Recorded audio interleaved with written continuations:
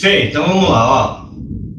A última aula eu passei para você sobre as escalas, assim, eu vou deixar a dedeira, que é o que você prefere usar, as escalas tocando assim, né, ó. Baixo, cima, baixo, cima, baixo.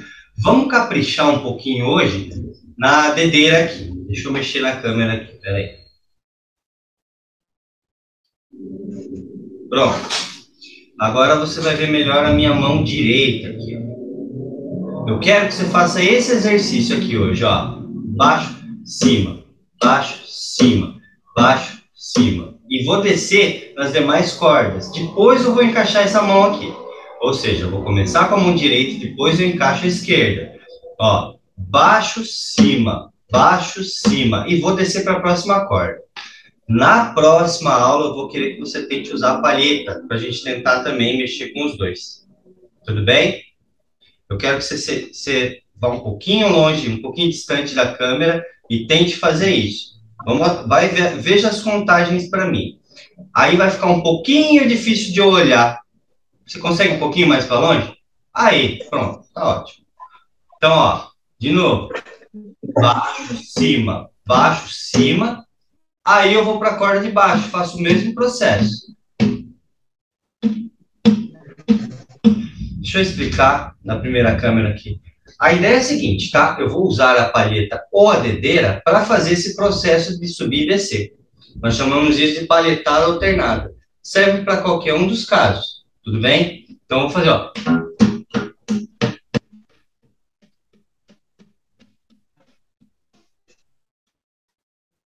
Tá um pouquinho. Aí, agora é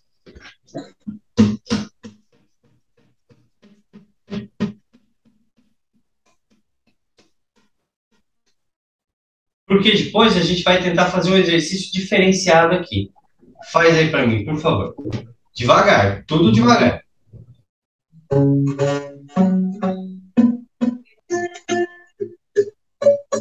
Só que você vai fazer quatro em cada corda. Quatro em cada corda.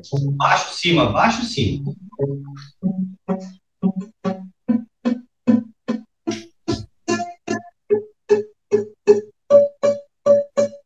De novo. Última vez.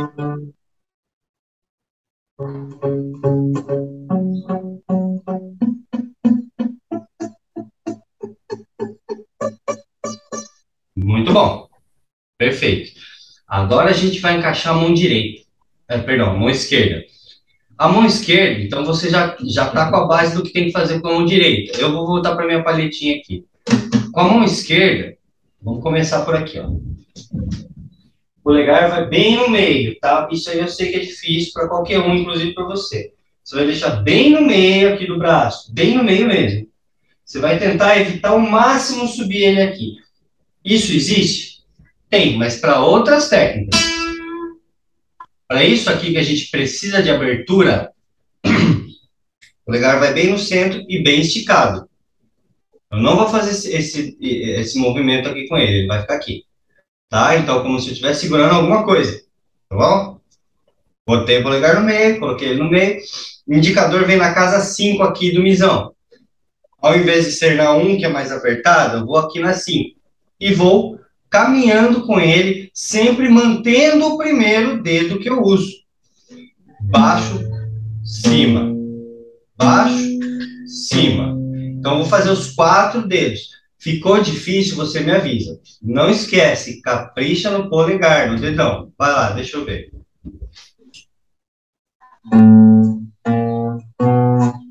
Muito bom. Deixa eu baixar a iluminação, isso. Então, ó. Aí eu vou descer a corda. E vou indo. Tá.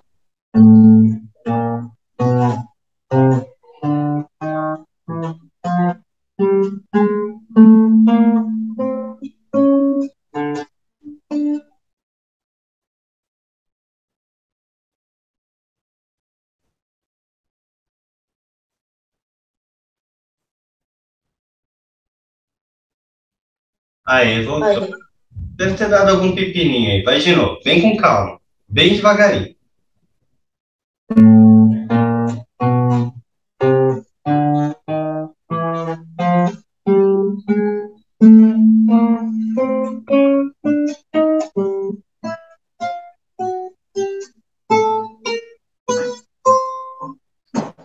Olha aqui. Primeira parte do exercício você pegou. São três terceira é um pouquinho mais complexa, mas é o que vai deixar você mais técnico, tá? Eu terminei aqui na misinha. Você tá vendo que cada dedo tá cuidando de uma casa. Aí tudo bem. Agora eu vou voltar, tá? Eu vou voltar então. Eu terminei, né? Ó. Eu terminei com a palhetada para cima. Eu vou voltar como? Na verdade, eu posso até fazer diferente. Eu, to, eu toquei para cima palhetada no mizinho, na, no dedinho aqui, né? Na mizinha. Eu vou bater de novo com o mizinho e vou subir.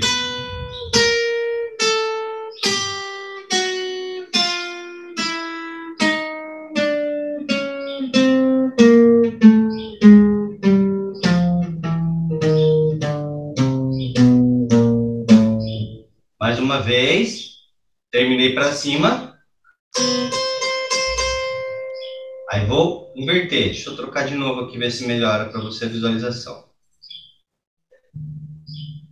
Beleza? Agora você olha um pouquinho melhor a mão direita aqui, ó. Terminei para cima. Aí venho para baixo.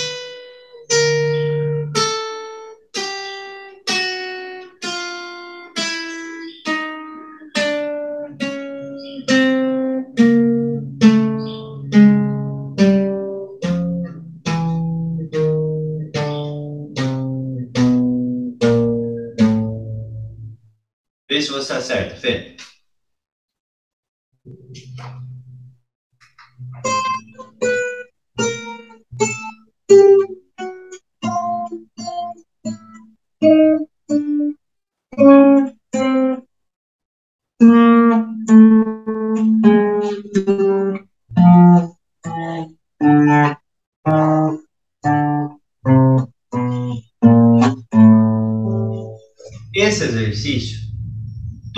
Vez que você começar a tocar, eu quero que você comece a utilizar ele, que é o exercício de aquecimento. Eu vou mostrar como é que você vai fazer ele na totalidade. E no final da aula, então, eu vou colocar como é que você vai fazer ele de uma maneira um pouquinho mais complexa. Ou seja, assim que você fizer bem feito essa forma, que eu vou mostrar exatamente agora, eu quero que você comece a fazer da terceira maneira que a gente vai fazer na aula aqui. Então, eu vou fazer tudo para você, ó. Vamos, acho que a outra câmera ficou um pouquinho melhor para você visualizar. Vamos ver. Então, ó.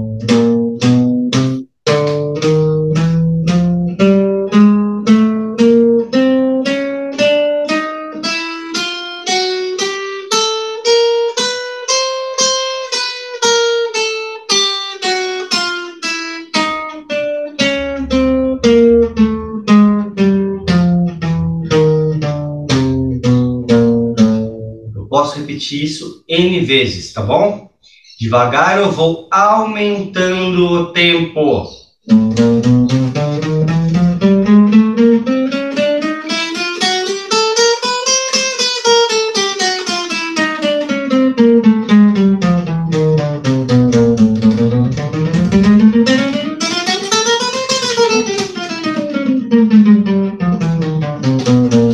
Errei, hein? Você viu que eu dei uma engasgada aqui, tá? Não precisa ser rápido, na verdade, tá? A ideia é ser frequente. Você fazer um pouquinho por dia. Não precisa ser absurdo. Isso daí vai deixar o quê? Vai te trazer facilidade e elasticidade. Quando você precisar fazer um solo.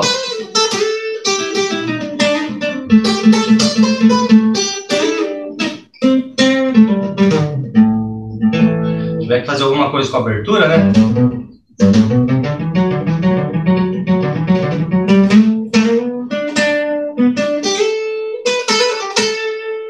Com a abertura já na mão feita, já armada.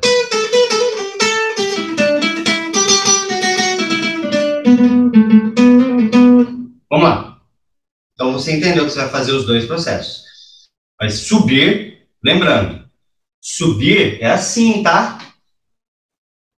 Estranho, né? Mas a gente está subindo a altura das notas. Então, é invertido. Subir significa que eu estou com os dedos descendo pelo braço. E descer é exatamente o processo invertido. Estou com os dedos embaixo, vou subir com a mão pelo braço. Fechou? Tudo tranquilo até aí, né? Agora a gente vai fazer a forma mais complicada um pouco. É... Esse exercício aqui, cara, eu acho que quem passou, se eu não me engano, é um guitarrista, tá? Não é um violonista, não. Ele chama Kiko Loureiro. Eu me recordo muito desse exercício. Vou aproximar um pouco mais ainda. Você só vai ver, basicamente, a minha mão. Então vai ficar... Eu vou deixar todos presos. A, a sexta corda, que é a última aqui, que é o misão, você vê que eu estou arqueando bem a mão, deixando ela bem arqueada, como se fosse um arco mesmo. Certinho a minha postura, ó. Olha a postura do polegar que bonitinho.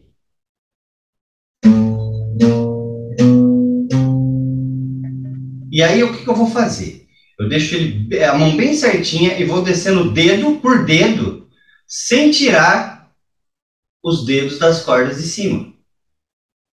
Tá? Eu só vou tirar o dedo que tiver que descer para a próxima corda. Então, ó.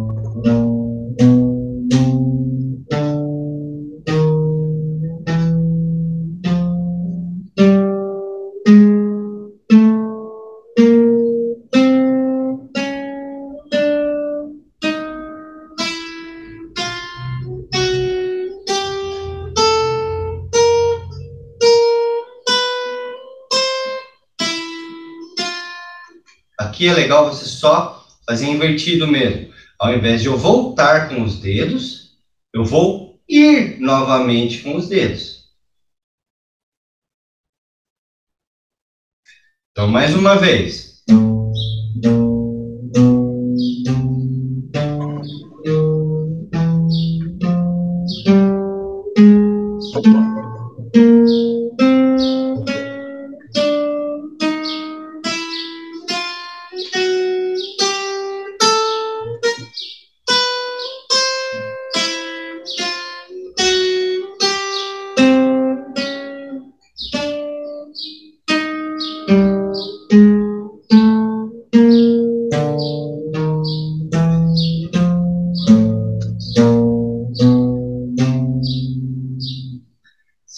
Tentar para mim, tá? Só para descer. Olha, só para subir, né? Tenta para ouvir. Devagarinho.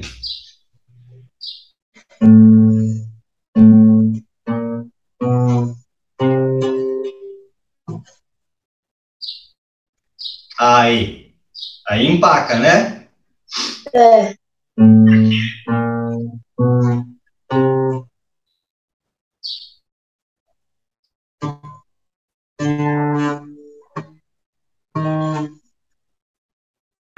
deixa eu conversar aqui agora. É interessante isso. Essa parte empaca mesmo, é normal.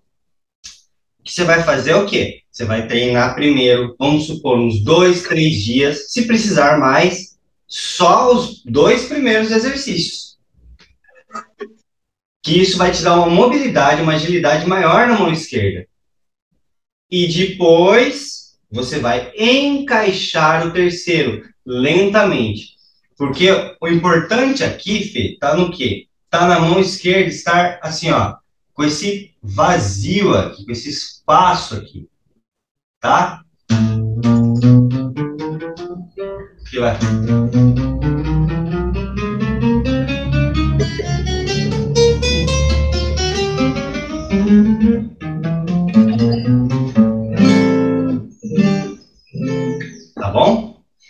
Vai tentar bem devagarinho isso para mim. Eu vou desligar essa gravação. Então você ficou com a aula. São os três exercícios básicos, né?